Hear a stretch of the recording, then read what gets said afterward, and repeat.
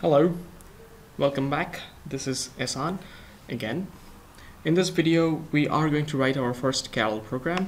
This program or this problem that we are going to try to solve using Java language. Uh, so this problem is inspired from a, a, similar problem designed at Stanford University. Uh, so we are going to use that their initial idea and going to expand it to something a little more general. Um, you'll understand what I mean by that, but uh, you don't have to really understand all these details. But let's see what we're talking about. So remember that we created this new uh, Karel environment something which looked like this. Uh, so if we go here, we see that our problem was like this, that Karel was facing east, which is in this direction, east. Uh, uh, two steps forward, it can find a beeper. Three steps forward, it reaches a wall position. Then we need to make Karel go up, take it here, facing east, meaning this location, and then place the beeper over here and move till to the end of the wall. So that was that is our problem statement. In order to solve this problem, what we have to do is we are going to use the basic Karel instructions, which are, as we know, the following four.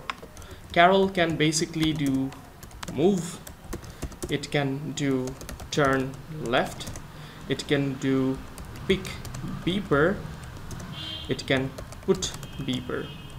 These are the four commands Karel understands. So let's play with these four commands and solve the problem that we were talking about, taking Karel through this, uh, walking, making Karel walk along this street, pick the beeper, move to the end of the street, uh, to the wall.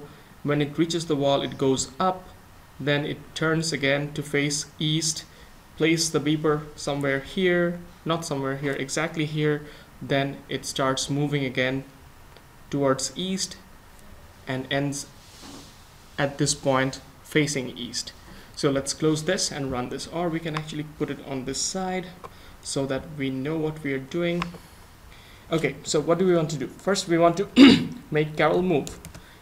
So initially Karel moves, so it goes from here to here. Then we move again. Move so now Karel is over here in this location. Then what we do is we basically know that there is a beeper over here. We pick the beeper. So now Karel is here. We have picked the beeper, so the beeper is in the bag of Karel. It doesn't show in the grid anymore. We move again. And then what happens is Karel is over here facing east. Now it cannot move any further because there is a wall. So what we need to do is we need to somehow make Karel turn up, meaning facing north. For that, what we can do is we can do turn left, which will make Karel uh, face north. Initially it was facing east. If we do turn left, it will face north. So it turns left, then Karel is facing north along this direction. We make one move. Karel is now at this location. Then we do another move Karel is right now in this position. At this point we need to make Karel move along this road. But Karel is facing north. But we actually want Karel to face east which is basically not turn left but it is turn right so in order to turn right what we do is basically what we can do is we can make Karel move or sorry, we can make Karel turn left three times. So it was initially facing north. If we make it turn left, now it is facing in this direction, which is west. Then we make it turn left again. Uh, turn left. So now it's basically facing uh, south and then we do turn left again. Now it basically now it faces east. So now with this three turn lefts lefts we have made Karel literally move right. Then we make Karel is at this position facing east. Now we make it move one step so make it move one step and then we place the beeper meaning put the beeper. And then we make one move two move three move four move five move. So what we can do is we can basically copy these two moves paste and then just move.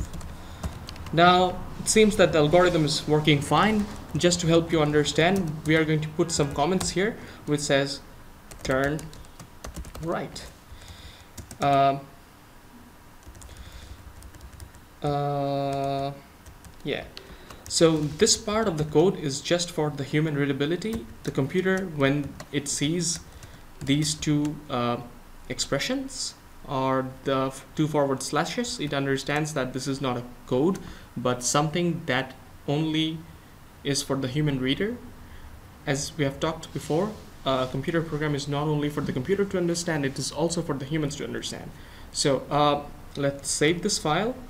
Uh, I hope you understand everything. So first we make two moves one move two move pick the beeper move we have in this position then we make this left to turn uh, left to face north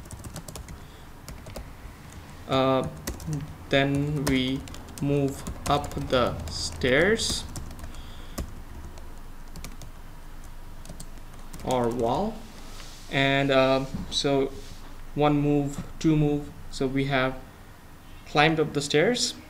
Uh, move or basically we can say climb up the stairs. So we are now here. Then we turn right to face east. Uh, then we uh, move to reach this position. Um, let me put it here move and then we put the beeper the beeper is here and then we move to wall. So we were here one move two move three move four move five move so we are now moving towards the wall. So let's save this file. We remove this double click on this. We save the file we run it. And let's see if Karel works. Start program. It works it works it works. Voila. Thank you